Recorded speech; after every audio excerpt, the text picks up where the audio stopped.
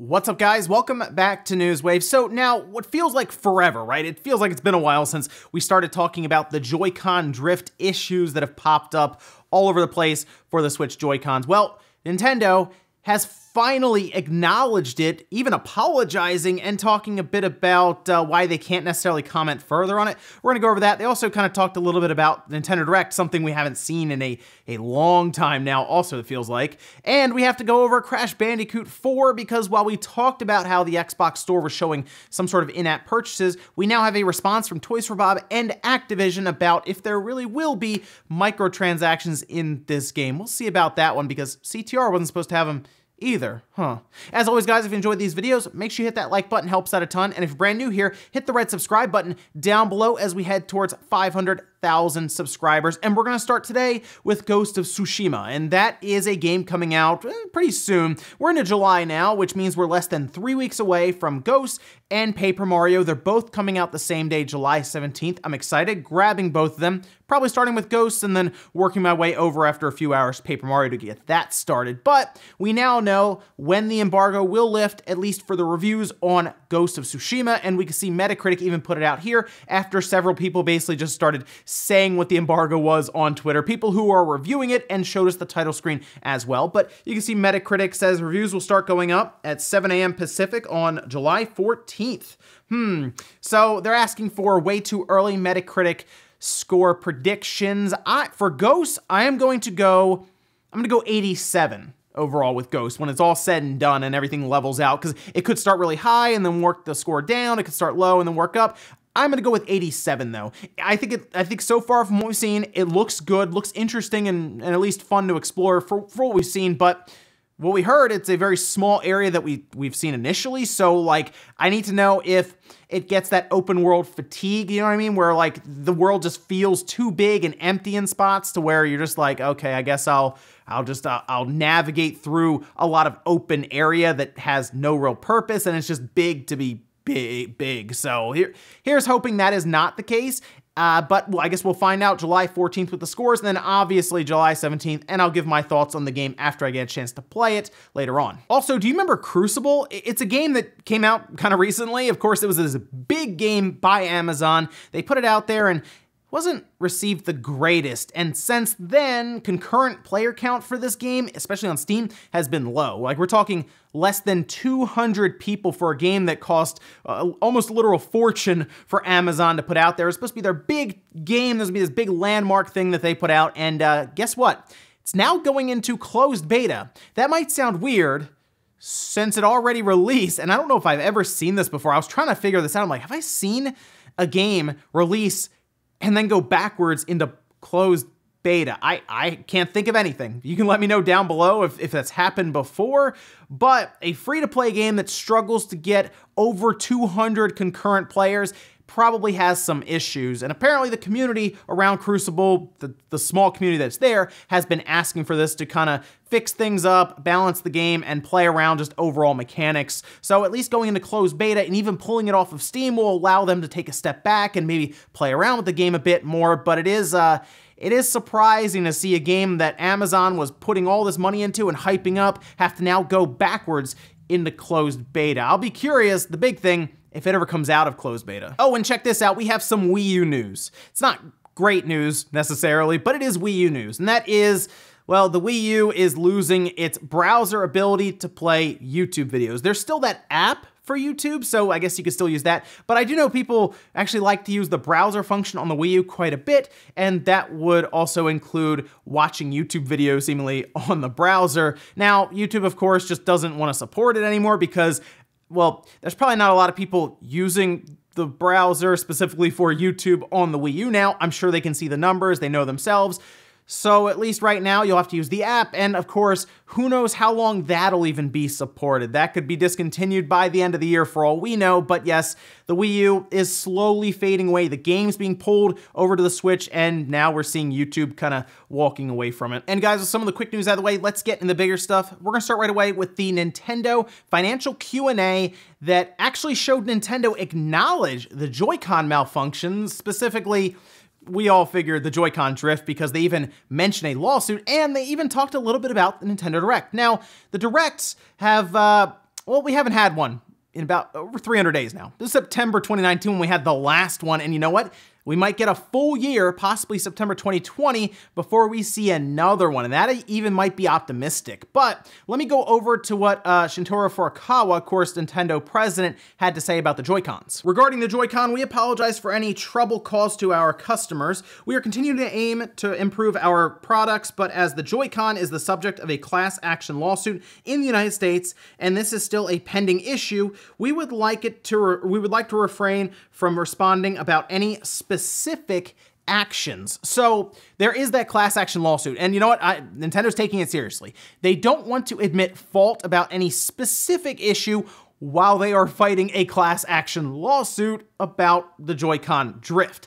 Now, this is good news because they are acknowledging it publicly to the world and to their investors that yes, they are apologizing because there was a malfunction, very general malfunction with the Joy-Con themselves. And I hope that means that Nintendo has been isolating the issue with that Joy-Con drift and they are working to resolve it behind the scenes, specifically with engineers, designers, and all this for the Joy-Con and that joystick.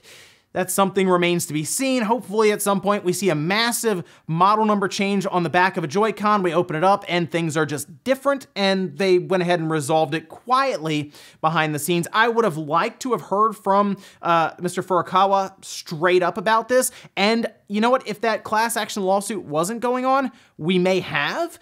I, I, that class action lawsuit is going to be going on for a long time, I think. It's going to be a while. We might be playing the Switch 2, and you might get like a $10 check in the mail or something if you were affected a bit with your Joy-Con drift, right? That happened, I remember, with the other OS, with the PlayStation 3. It took like a decade to get people checks for that thing. So uh, yeah, I- I'm not holding my breath about that ending anytime soon. So most likely, this won't even be advertised if they do fix that Joy-Con drift. But the fact that they are acknowledging it, even to investors, means that the issue was big enough for that to happen. They're apologizing, but now they have to take action, and hopefully that means that those Joy-Cons start to change in stores. And of course, we know in certain regions, they just told uh, customer service agents to just take the Joy-Con in and change it out hasn't been everywhere. It should be. Like I know in Europe, they, they I believe you still have to pay to get it repaired in uh, uh, Nintendo America just went ahead and changed them out. So that needs to be like the standard, and then they have to start changing and fixing the overall design of the Joy-Con so that they don't drift at least as much as they do. Controllers still drift overall, but it certainly was a bigger issue with the Joy-Con. And then as for the Nintendo Direct, something we have not seen in a while, and like I said, we might not see for a year even, like from the last one in September, Nintendo still says that they see it as a great way to deliver a message specifically about their games, and I would agree. Whenever this next big General Direct happens, the hype is going to be through the roof. It really will be. I mean, when a direct happens in the first place, people get really excited. And then, of course, there's a lot of disappointment that follows because they have so many IPs, you, really can't please everyone. But for the most part, a lot of us watch a direct and we can pick out at least one thing that we get excited about a lot of times multiple things in there. And the strange thing here is that Nintendo did say that they would look to adapt the Nintendo Direct in the future if they felt they needed to. And I almost wonder if that's because they're looking around at all of the other companies and they're all doing their own like direct, right? State of play. Microsoft is is going to start moving, I think, to more pre-recorded stuff rather than our live stuff as well. And uh, I think Nintendo's looking at that and saying, we like to be different.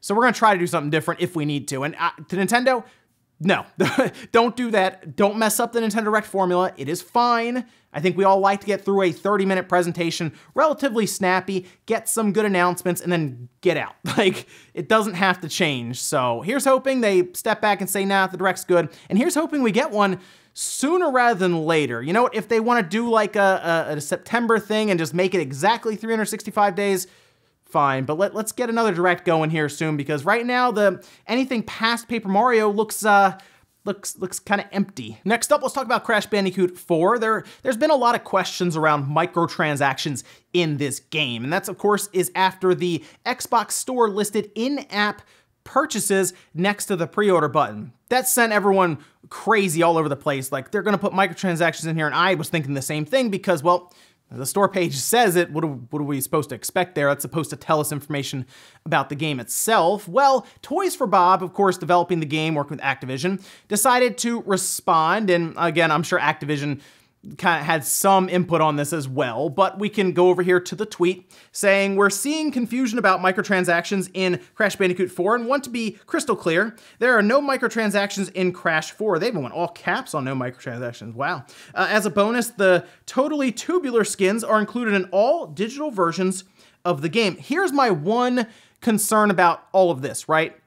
Activision said something similar when Crash Team Racing was coming out, and, and then not too long after, I think it was like a month or two or so, we started to see microtransactions added in with an entire shop that got added in. Now you can still earn the stuff in game, but of course you can fast track your way there by buying currency and, and just being able to get things right away.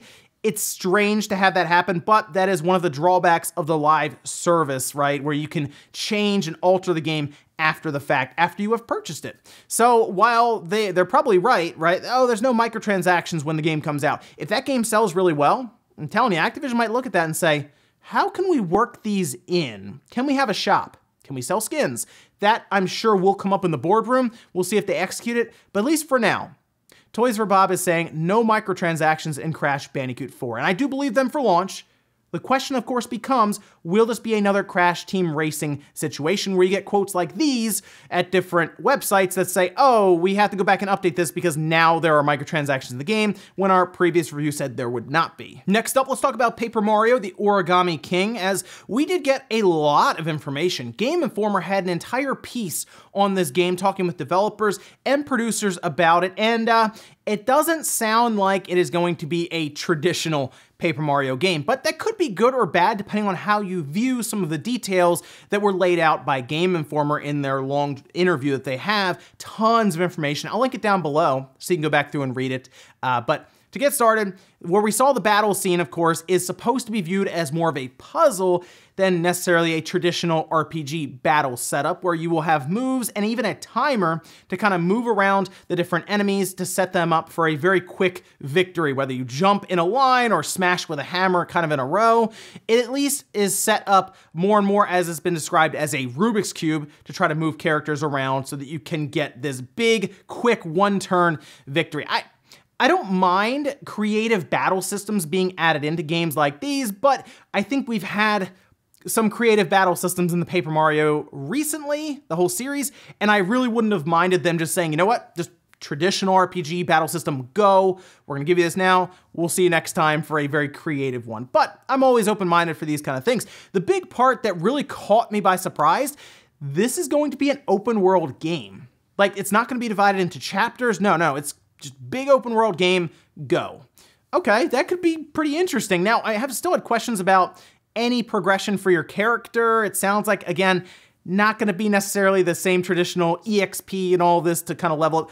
Uh, well, I gotta see how all that's gonna work out exactly. They've kind of alluded to it being a bit more simple, I guess. Uh, but I do like the look of it. Like it looks super nice, right, from what they've shown. Very clean and creative with a lot of their areas that they have. And they also did talk about partners in the game, which got people really excited when they saw them, but they're not going to stick with you. Okay, so there will be certain areas, I guess, that they exist in, and that's it. It seems like it's going to be very story driven when it comes to your different partners. Uh, they will just have different sections of the game where you have them, but you will, of course, have your one character that goes with Mario all the way throughout. But from what I'm seeing, it's at least looking pretty good. It's definitely looking better than Color Splash and Sticker Star, which is, well, that's that's at least a, on the right direction, right? We're hopefully heading up from here, but uh, we'll see. Of course, that launches same day as Ghosts, so uh, not too much longer, less than three weeks. And in our last bit of news, I'm going to go ahead and give you guys an update on uh, some of the information we had yesterday, which had to do with the big Xbox July blowout event for third parties and seemingly some third parties thrown in there too. Check this tweet out here because we had a lot of information getting thrown out on Twitter yesterday. Tom Warren, for example, says Microsoft is sure going to have a busy week of July 20th. It's Microsoft's Inspire Partner Conference that week, and it's Xbox time, so that'd be the week of the 20th. And then Jeff Grubb also updated his list of his summer game mess with July week of tw of the uh, 20th Xbox Game Studios reveal. And uh, I've I've even been hearing myself that that would be the week. I did guess on the Spawncast the day of the 23rd.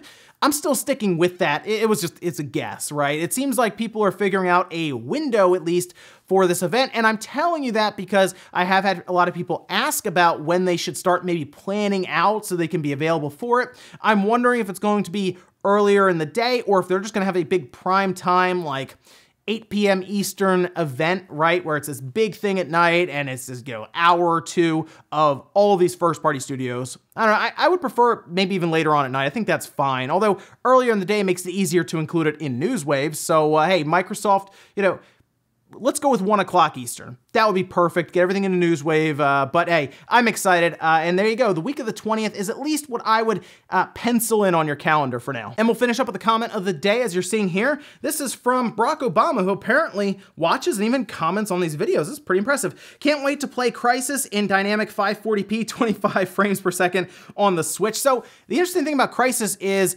I am gonna say it'll probably be 720p or even 900p at 30 frames per second on the Switch. That might surprise some people, but it's gonna depend on what Saber can get out of this because they they did a pretty good job on The Witcher, and Crysis, I think, will be a bit more manageable on the Switch, especially compared to the PS3 and the 360 versions that ran at like this just under 720p at a pretty abysmal 25, 26 frames per second. It was kind of all over the place, but the Switch should be able to handle this game better than the PS3 and the 360. And I'm, I'm expecting 720 30. That'd be docked. And yes, I do think it could be 540p at 30 in handheld mode, but of course, they would uh, kind of take the sacrifice on the resolution for a more steady frame rate on a smaller screen that you might have a harder time seeing the differences in. But uh, that'll be very, very interesting to see how it actually translates over to the Switch later on this month. And ladies and gentlemen, that's gonna do it here for Newswave. Enjoy this video, guys. Hit the like button, really helps out. If not, hit the dislike. Leave comments down below about everything we talked about today, whether there's Paper Mario, the Origami King. How, how do you think that's looking right now, especially if you're a longtime Paper Mario fan and you went through uh, a color splash? What do you think it's so far about, about this one here? And then what about Nintendo acknowledging the Joy-Con issues, giving kind of an apology, and then even talking about the directs as still being important, but uh, we haven't seen one in a long time. When's the next direct gonna be, guys? Thank you so much for watching, and I'll see you next time.